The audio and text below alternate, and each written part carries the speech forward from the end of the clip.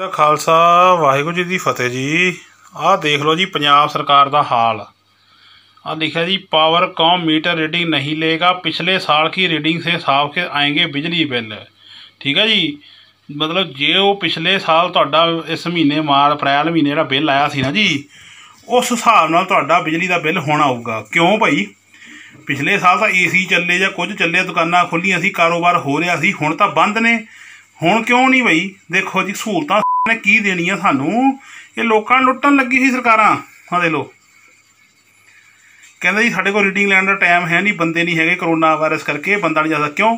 ਸਫ਼ਾਈ ਕਰਮਚਾਰੀ ਲੱਗੇ ਹੋਏ ਪੁਲਿਸ ਵਾਲੇ ਲੱਗੇ ਹੋਏ ਤੁਸੀਂ ਕਿਉਂ ਨਹੀਂ ਰੀਡਿੰਗ ਲੈਂਦੇ? ਮੈਨੂੰ ਦੱਸੋ ਯਾਰ, ਮੈਂ ਰੀਡਿੰਗ ਲੈ ਦਿੰਨਾ। ਮੈਨੂੰ ਨਹੀਂ ਕੋਈ ਡਰ ਕਰੋਨਾ ਵਾਇਰਸ ਦਾ, ਮੈਂ ਜਾ ਕੇ ਲੈ ਲੈਂਦਾ ਰੀਡਿੰਗ ਕਮਾਲ ਕੀਤੀ ਵੀ ਹੈਗੀ ਆ। ਇਹ ਭਾਈ ਸ਼ੇਅਰ ਕਰੋ, ਵੱਧ ਤੋਂ ਵੱਧ ਦੱਸੋ ਸਰਕਾਰ ਦਾ, ਦੇਖੋ, ਹਾਲ ਕੀ ਹੋਇਆ ਪਿਆ।